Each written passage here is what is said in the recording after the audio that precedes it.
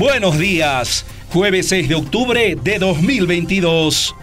Diálogo secuestrado antes de su cabildo, había dicho que sí participaría en la mesa de diálogo por el censo convocada para el 11 de octubre en La Paz. Después del cabildo, puso cuatro condiciones para asistir a ese encuentro. Luego fueron cinco y más tarde seis dichas condiciones. Al final anunció que no asistirán a la convocatoria del gobierno. Se trata de Vicente Cuellar, rector de la Universidad Gabriel René Moreno, quien ahora dijo que de nada sirve ir a discutir con el gobierno si el decreto Supremo que establece el censo para 2024 está vigente. Según Cuellar, sin la abrogación de este decreto es ir a un círculo vicioso.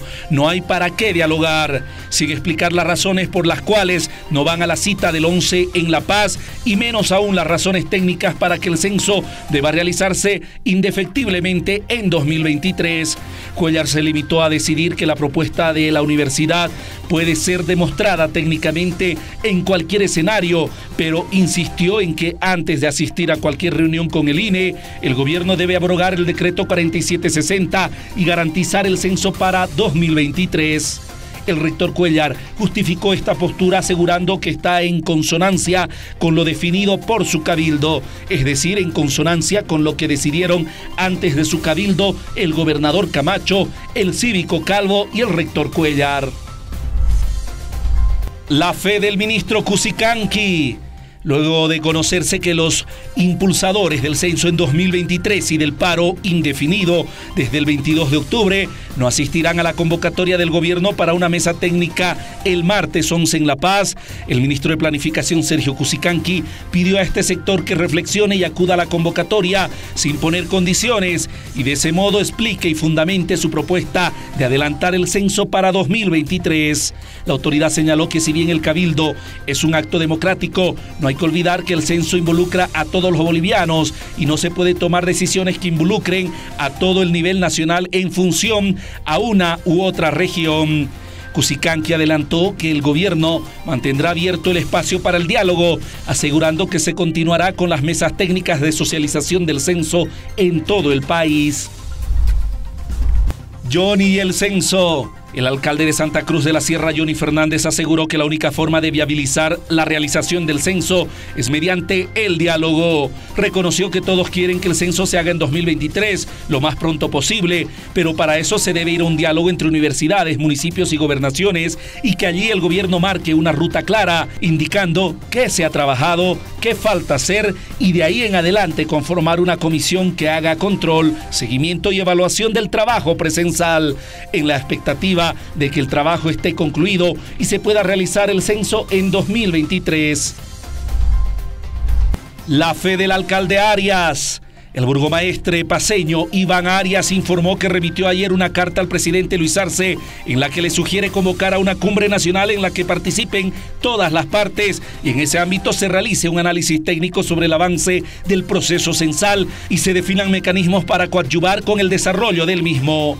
Según Arias, en esta cumbre también se podría afinar la propuesta del cronograma del INE, sin mencionar en su carta si el censo debe hacerse en 2023 como pidieron en el Cabildo Cruceño o si se respetará el año 2024 como establece el decreto. El entusiasmo del alcalde Arias hace que pierda de vista que Camacho, Calvo y Cuellar decidieron que si no se abroga el decreto 4760, ellos no irán a ningún diálogo ni nada que se les parezca. Los números no dan. El director del Instituto Nacional de Estadísticas en Santa Cruz, Juan Sabino Quisver, informó ayer que la actualización cartográfica de ese departamento tiene un avance del 25%, estimando que se completaría en su totalidad hasta el segundo semestre de 2023. Según esta autoridad, la actualización de la cartografía es imprescindible para hablar del censo. Si no se concluye esa tarea, es complicado hablar de censo y en ese sentido aseguró que cumpliendo su cronograma ya se completó esta tarea en cinco distritos estimando que hasta fin de ese año se finalizará en los siete restantes. Como anunciado, Dos marchas de protesta confluyeron en el centro paseño este miércoles, generando embotellamientos y caos vehicular en varias calles y avenidas aledañas a la avenida Mariscal Santa Cruz. Los maestros urbanos llevaron adelante su bloqueo de las mil esquinas, centrando su acción en varias calles que desembocan en la principal avenida de La Paz. Con esta marcha y bloqueos, los maestros manifestaron su repudio al traspaso de sus aportes jubilatorios a la gestora pública. Por su parte, Poncho Rojos y Bartolinas de la provincia Mazullos de La Paz descendieron desde el alto hasta el centro paseño e intentaron sin éxito ingresar a la Casa Grande del Pueblo para entregar al presidente Luis Arce su pliego petitorio que incluye 41 demandas, entre ellas la construcción de un hospital, de un complejo lechero y de otra piscícola, además de la apertura de un colegio militar aymara, exigiendo reunirse con el presidente Arce en Omasuyos. Sobre esta manifestación, otros dirigentes de los Ponchos Rojos de Omasuyos dijeron que se trata de una pequeña fracción de su provincia que se movilizó con engaños del dirigente Rudy Condori, quien habría tenido reuniones con el cívico cruceño Rómulo Calvo. En Omasuyos somos más de 86 mil habitantes, tenemos seis municipios y cuatro no están participando en esta marcha, reveló Ovidio Mamani, secretario general de esta provincia. Un feminicidio cada cuatro días. Este miércoles el Ministerio Público reveló estadísticas referidas a feminicidios e infanticidios en lo que va del año. Sergio Fajardo, director de la Fiscalía Especializada en Delitos contra la Vida, informó que entre enero y septiembre de 2022 hubo 69 feminicidios y 29 infanticidios.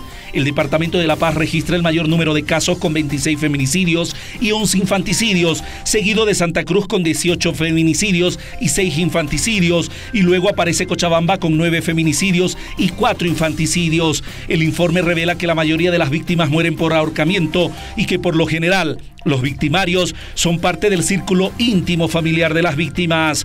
Los datos de la Fiscalía revelaron el martes que en Bolivia se registra un hecho de violencia de género cada 10 minutos. Los datos de ayer permiten concluir que en nuestro país una mujer es asesinada cada cuatro días y un niño cada 10 días protegiendo los bolsillos. Autoridades del gobierno advirtieron que no permitirán que el precio de la carne de res sufra un incremento, asegurando que quienes sean sorprendidos en actividad de agio y especulación serán sometidos a procesos penales. Se anunció la realización de operativos en los centros de abasto de todo el país para evitar que los carniceros puedan subir los precios sin que haya una razón para eso, demandando que se sumen a esta cruzada los gobiernos municipales de las ciudades capitales. Entre tanto, el ministro de Desarrollo Rural, Remy González, anunció para este sábado la realización de una feria de la papa que se realizará en la Plaza San Francisco de La Paz, donde productores paperos de varias regiones venderán el producto a 50 y 55 bolivianos la roba.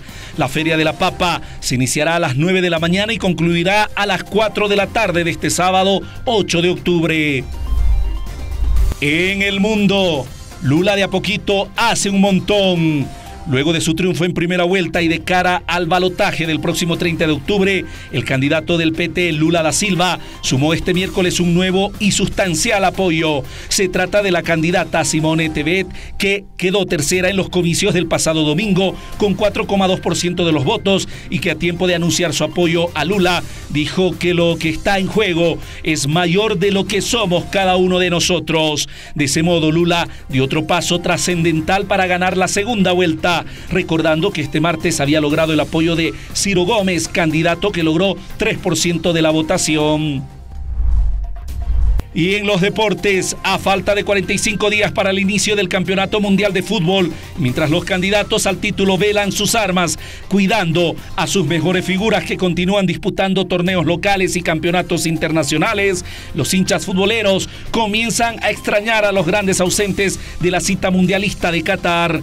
En esa lista aparecen dos extraordinarios goleadores, el egipcio Mohamed Salah y el noruego Erling Haaland, cuyas selecciones nacionales se quedaron a medio camino se añaden a la nómina el sueco Zlatan Ibrahimovic y el italiano Marco Berratti. Y entre los sudamericanos, el ausente más sentido será sin duda el colombiano Luis Díaz, de exitoso presente en el fútbol inglés.